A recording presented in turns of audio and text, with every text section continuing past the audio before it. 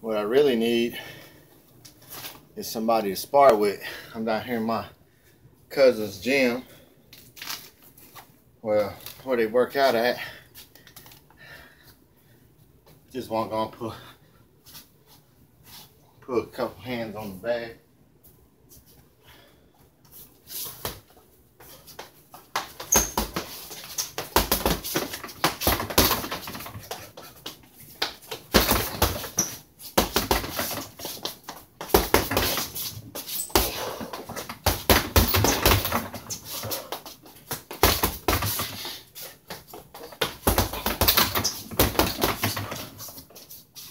And that's it.